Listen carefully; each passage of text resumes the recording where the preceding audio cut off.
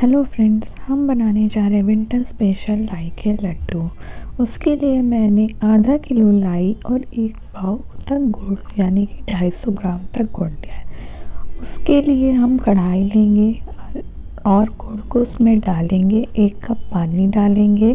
जो जो है पानी हमें ज़्यादा नहीं डालना है, बस इतना डालना है कि गुड़ जो है डिसॉल्व हो जाए और उसको हम लगातार चलाते रहेंगे।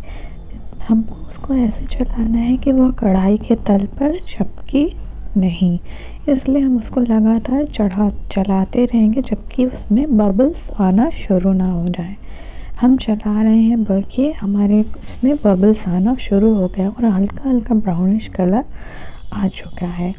अब हम इसको जो है, जैसे चलाते हुए और थोड़े सा पानी हम कटोरी में ले लेंगे, देखने के लिए कि चाशनी हमारी बनी है या नहीं।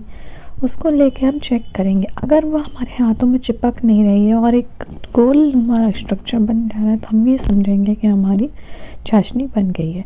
देखिए, अभी हमारी चाशनी हुई नहीं, इसलिए हमने फिर से डाला और हमने दोबारा चेक किया। तो अब हम उसको फिर से पानी में डालेंगे और उस चाशनी को चेक करेंगे। ये देखिए, हमारी जो चाशनी है, वो बिल्कुल बनकर तैयार हुई क्योंकि वह हमारे यहाँ पे गोल बनने में तैयार हो गई है। अब हम क्या करेंगे? लाई लेंगे और उसको उस गुड़ में डाल देंगे और गैस को बंद कर देंगे और इसको अच्छे से चलाएँगे। पूरी लाई को ऐसे मिक्स करेंगे कि एक एक लाई पर गुड़ जो है, लग जाए। ठीक है?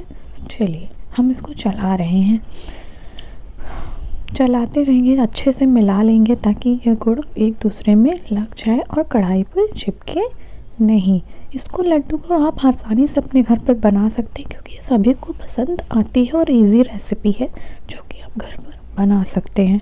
इसमें आपको ज़्यादा कुछ करना नहीं है, बस मेज़रमेंट का ध्यान रखना है कि हम जैसे कि आधा किलो लाई मैंने ली है तो उसके लिए सिर्फ़ एक पाव गुड़ की आवश्यकता है और उसमें ज़्यादा पानी नहीं डालेंगे। हम सिर्फ़ आधा कप के करीब पानी डालेंगे या फिर सिक्स स्पून पानी डाल देंगे। फिर हम हाथों में हल्का सा तेल लगाएँ। कोई भी ऑयल यूज़ कर सकते हैं। हमने यहाँ सरसों का तेल लिया है। उसको हाथों में लगाएँगे और थोड़े थोड़े बॉल्स लेके बनाना शुरू कर देंगे। बहुत हल्के हाथों से हमें दबाना है। ज़ोर से नहीं दबाना है, वरना लड्डू टूट जाएँगे। बस हल्के हाथों से उनको राउंड राउंड राउंड घुमाते जाना है और हमारे लड्डू बनकर तैयार हो जाएँगे।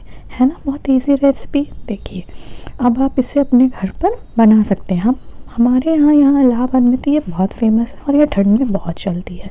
और हमारे घर में तो